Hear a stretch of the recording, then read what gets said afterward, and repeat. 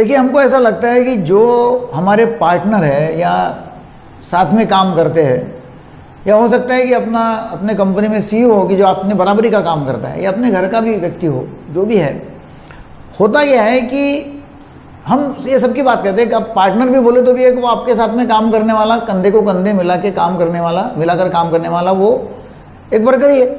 जैसे आप भी वर्कर है, आपके बिज़नेस में वो भी वर्कर है और आप दोनों साथ में काम कर रहे हैं।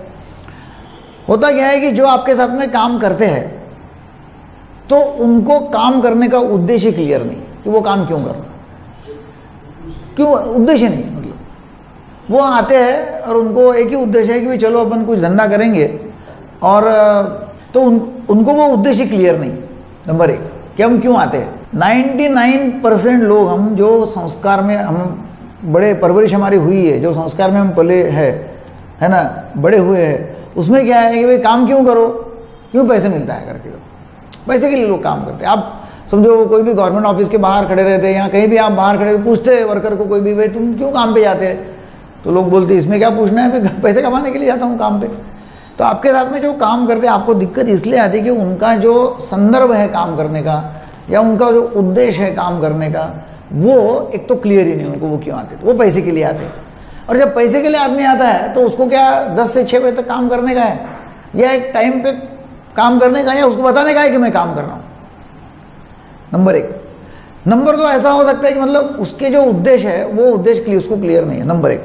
नंबर दो, आपके जो उद्देश्य है, जिसके लिए आप काम कर रहे हैं, वो उसको क्लियर नहीं है. आपका एक उद्देश्य है कि मैं मैं ये उद्देश्य के लिए काम कर रहा हूँ. मेरा संदर्भ ये काम करने का है. तो आप वो एक बड़ा उद्देश्य लेके काम कर रहे हैं।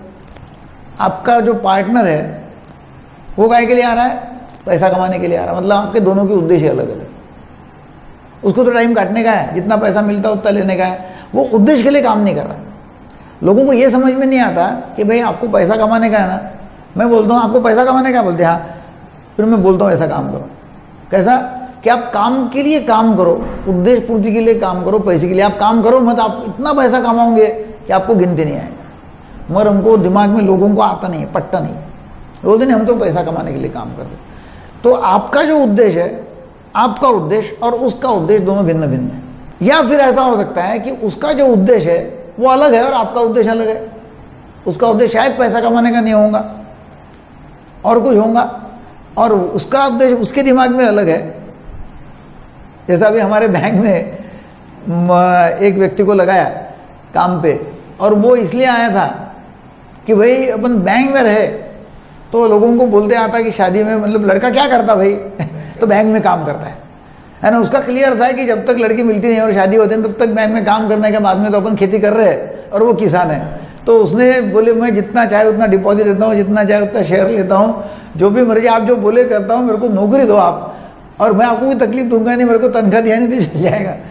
है ना, उसका उद्देश्य। मतलब कहने का मतलब उसका सामने आने का उद्देश्य क्या? वो ऐसा आदमी समझो आता है तो क्या काम करेगा कौन सा काम करेगा? उसका उद्देश्य अलग है तो ऐसे कुछ अलग अलग उद्देश्य हो सकते हैं। कुछ लोग टाइम पास के लिए काम करने जाते हैं, कुछ लोग अच्छा दिखने के लिए काम करने जाते हैं, भाई क्या काम करता नहीं, अभी फैक्ट्री है। कोई लोग अपने बच्चों को फैक्ट्री लगा के देते हैं, वो इसलिए लगा देते कि नहीं अच्छा लगता है कि भाई चलो बच्चे को काम पे लगा दिया। लगता है चलो बोलने के लिए कि बाहर देखो बच्चा क्या काम करता है। एक कॉमन है जो लोग बोलते रहते हम शेयर में ट्रेडिंग करते हैं और शेयर का काम करते हैं. शेयर का काम डेफिनेटली क्या करते हैं शेयर का काम? तो कोई बोल नहीं सकता शेयर का काम करता क्या है? मतलब ये ट्रेडिंग करने में तो कोई अमीर हुआ है मेरे को, ऐसा दिखता नहीं, बहुत ही कम लोग हुए कि ट्रेडिंग करने में हो नीचे ऊपर मार्केट में खलास हो जाते लोग। तो फिर ये करता क्या है तो बोलते नहीं लोग। कहने का मतलब ये है कि उसका उद्देश्य अलग है, आपका उद्देश्य अलग है। उसको उद्देश्य नहीं है, पहले मैंने बोला। फिर आपके उद्देश्य में वो मतलब ये नहीं है, सहमत नहीं है है ना? उसका उद्देश्य अलग हो रहा है।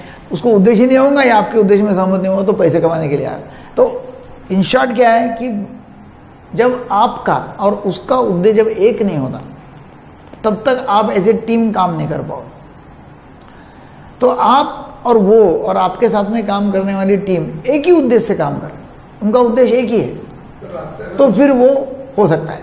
नहीं तो नहीं होता हूँ। तो इसलिए आपको क्या करना पड़ेगा कि भाई आपके साथ में काम करने वाले जो लोग हैं, आपका पार्टनर होगा, आपका स्टाफ होगा, नहीं क्या? तो वो सबको आपके उद्देश्य में उनको सहमति उनकी लेनी पड़ेगी। उसमें उन्होंने कोऑपरेट करना चाहिए। उसने, उसके लिए आ रहे वो, यदि पहले से उनको मालूम है कि हम काय के लिए यहाँ आ रहे तो फिर होगा ठीक। नहीं तो फिर उद्देश्य अलग अलग तो काम करते नहीं लोग। ज़्यादातर लोग जो स्टाफ में काम करते हैं तो पेट भरने के लिए आते हैं। उनको टाइम पास करने का छः बजे लोग तो पाँच बजे से ही तैयारी करते छः बजे जाने की। एक तो दस बजे आते तो आने के बाद में, ऑफ़िस में आने के बाद में, लेटरिन, बाथरूम जाना, फ्रेश होना वगैरह, आने के बाद मतलब रिपोर्टिंग टाइम एक बार थम लगा दिया कि भाई अपनी एंट्री हो गई अटेंडेंस लग गया। आने के बाद में फिर अपना वो टॉयलेट फ्यूलेट जाना सब करेंगे, पानी नहीं पियेंगे। फिर वहीं डब्बा खाएँगे, भूख लगी है तो चाय पीने के लिए। मतलब आने के बाद में वो काम करना खुद का चालू करते हैं, क्योंकि अटेंडेंस लगाना पड़ता है। दोपहर को कहाँ गया आदमी तो चाय पीने गया, खाना खाने गया। और शाम को छः बजे यदि धंधा मतलब ये ऑफ़िस का टाइम खत्म होता है तो पाँच बजे से वो अपना गुंडालने चालू कर देता है कि अपने को तो छः बजे आने का ही है। ऐसा काम करते लोग। तो वो जब तक नौकरी करेंगे टाइम पास कर रहे हैं, जिनको पैसा तो भी करके टाइम निकालने का है, और अपने पैसे के लिए काम करना है तो अपना दिमाग बहुत फोड़ना पड़ता है। इसलिए हरदम आपको वो काम करने का उद्देश्य जो है, वो उनके साथ में क्रिएट करना पड़ेगा कि आप काम क्यों कर रहे हैं।